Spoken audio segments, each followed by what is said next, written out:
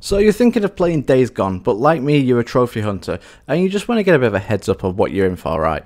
Of course you are, that's why you clicked on this video. That's why you're here. Well, let me start by putting you into a really good mood.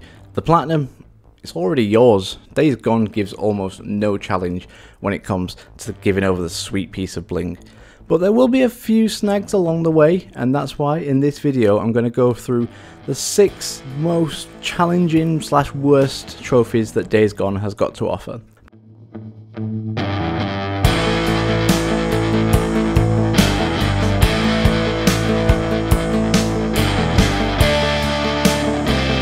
But first, a disclaimer. To be able to do this, I'm obviously going to have to spoil small parts of the game from time to time. I'll try and skirt around the details, but I got to do what I got to do. What I'm really saying is take this as your spoiler warning. While this isn't a review, it wouldn't hurt just to quickly run through what the game is about again. So that if you're thinking of playing it, you get a glimpse into what Days Gone is about. So it's a post-apocalyptic sort of horror game set in Oregon. You'll be playing as Deacon St. John, who's on a bit of a mission to find his wife, who he seems to have misplaced. He's a bad boy biker and he has his brother, who isn't his brother or could be his brother. We never really find out along the way. With well, he's with him anyway, trying to find out what happened to the to, to his bay. He also wants to find out why Nero are knocking about. They're like the feds of the game, or maybe the CDC, the CIA. I don't know, some three-letter acronym. Well, four, I guess. It's your typical open world salvage, craft and survive game. The only difference is that you have a motorbike to get yourself around a bit quicker. And speaking of the motorbike, we're going to go in hot with possibly the worst, and I mean the absolute worst trophy in this game. Burnout Apocalypse. Don't let this little sneaky bitch deceive you. All you have to do is use nitro and drift at the same time on your bike for at least 5 seconds. That's easy enough, right? Upgrade your bike to the max, nitro and such and get off you go on your way. Nah mate, getting the bike into a spin is one of the hardest things I did in the game and I took on all of the hordes at night because I'm an idiot. Two problems I had with this one. Numero uno, I just couldn't find enough space to be able to do this. There are guides online that tell you where to go and how to do it, but how they did it in the places they did it, I'll, I'll never know. And problem number two, it's a bloody zombie game. All the open spaces are just rammed full of smooth-brained skin drippers. They're all over the place. I couldn't get two seconds of peace, whether it was day or night. Just look, look at this. This is me being a complete mong on a bike.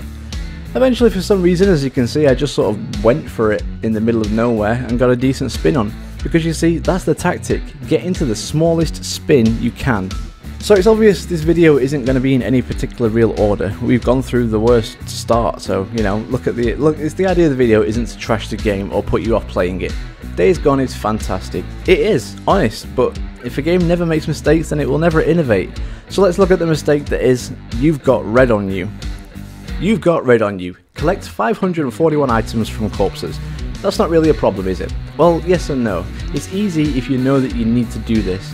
Items can only be taken from human corpses, which is alright because there are plenty of them, so it shouldn't be too much of a problem. Still, it can be if a specific item is full in your inventory. For example, kerosene and, and the corpse only gives you that particular item. Then hey presto, no items for you. I looted every enemy I killed, human of course, and it took me the whole story and some of the post game before I got this trophy to pop. There is a guardian angel with this one though.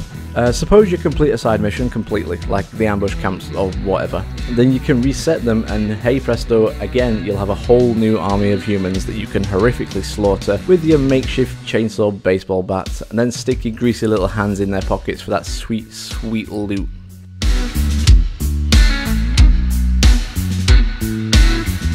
Like I said before, I'm happy I read the trophy list before I began with this game, otherwise I could imagine this being a massive grind. Also, don't forget to craft everything you can when you can, you gotta free up that inventory space man. Speaking of grind fests, let's talk about this little doozy called Lend Me Your Ear. This is a literal grind fest. So, in Days Gone, for some reason that I don't think's ever really explained to you, the camps dotted around the maps like to take the ears of the fallen undead. They're traded in for respect and currency, not that they're really worth it. But most of the time, when you kill a freaker, as they're known, you'll automatically collect its ear. So it is really as simple as that until you realise that you need to collect the utterly arbitrary number of 989 of them. The only tip I can give for this one is do the hordes. It'll be over in no time, but if, like me, you're a bit intimidated by the massive amount of zombies in the hordes, then it's going to take a little bit of a long time, as you'll only sort of be picking up 3 or 4 per encounter. That is if you go the wussy way, like I did.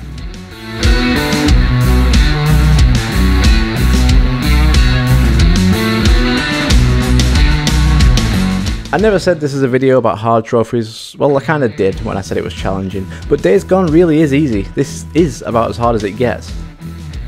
I want to talk more about those camps as I need to segue into the next section. Uh, there's five of them throughout the whole game and like I said they're really creepy when it comes to dismembered body parts. That seems to be a universal thing though, so that when the world ends all that will be left are the people with ear fetishes. Each camp needs 25,000 trust points to become allied with, and that leads us into best friends forever for life. Disclaimer, I'm stupid and apparently I didn't record the trophy, but I did get the one before, which is best friends forever without the for life thing. It's essentially the same thing, just with one encampment. With this one, however, you need to do three, out of the five camps in the game. There are certain upgrades and weapons locked behind trusts spread across the map, so it is worth doing.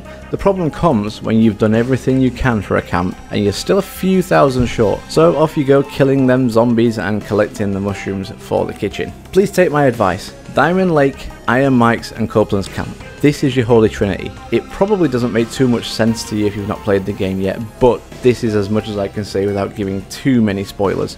Clearing up goals in the open world will also help. Burning infestation zones, removing ambush camps, you get the drift. Just again, be prepared to get your grind on for this one, potentially.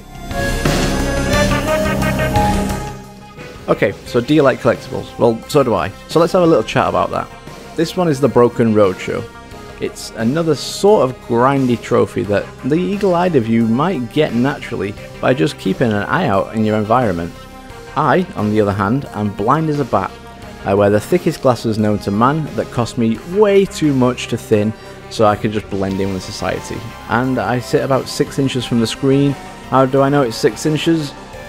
well, yeah, use your imagination. So jokes and rambling aside, we have to collect 75% of 240 collectibles available. That's 180 of them in case you've not done the maths, and they range from character bios, herbs laying around, and crafting recipes, so you will get a lot of them just by playing. I do have to confess that when I had finished the game, I had to go back and get around 30 or 40 of them. Like I said, blind as a bat. This isn't a terrible one though, all things considered. Just watch out and be vigilant. I guess check everywhere, and I mean everywhere, before you move on.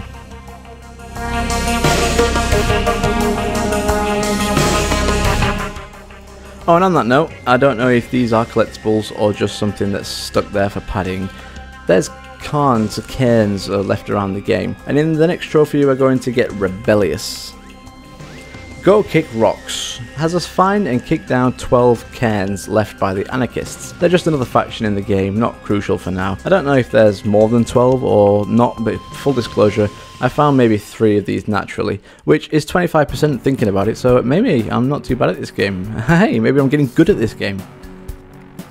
This is another one though where maybe, just maybe, if you're playing and paying enough attention, you might be able to get it yourself. I, on the other hand, did not, so I had to rely on the generosity of YouTube, and a shout out to PowerPyx. That channel has saved me multiple times. Anyway, Find them and kick them down. This is on the list because there's just there, it's just there for the sake of it. It doesn't add to the game, it's never mentioned in the game, they have no purpose and it's just pure filler to extend the playtime and that is utterly the wrong way to do it.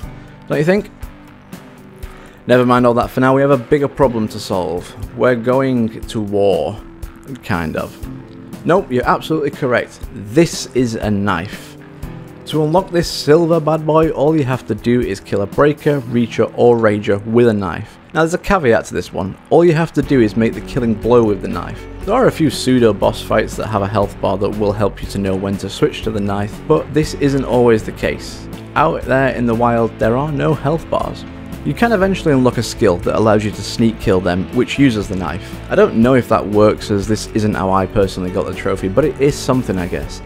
These things are dotted around the map. If you're all only going to do a knife fight with them all the way through, then you better be prepared for a battle and a half. This and Burnout Apocalypse, in my opinion, are the most challenging trophies in Days Gone. The rest, well, that's just a grind fest, which doesn't bother me personally, I like to grind. Hell, I'm level 99 runecrafting on RuneScape, and I know how to do the grind. So like I said earlier, this video isn't here to bash Days Gone. It's the best game I've played in a long time, and has a refreshing take on the done to death zombie media. The story is fantastic, the gameplay is excellent for the most part, and you will have a great time playing this. And remember, this is just my mere opinion. You might completely disagree, and if you do, leave it in the comments, let me know your take on Days Gone and its trophies. All that's left for me to do is thank you so much for watching this video and getting this far. If you haven't already, and this is your kind of thing, then why not subscribe? I really want to upload more and my resolution for 2021 is to get onto the YouTube grind a little bit more. Leave a like if you enjoyed the video, dislike if you think it was the worst thing you ever saw. Either way, don't leave without making your mark and I will see you in the next one.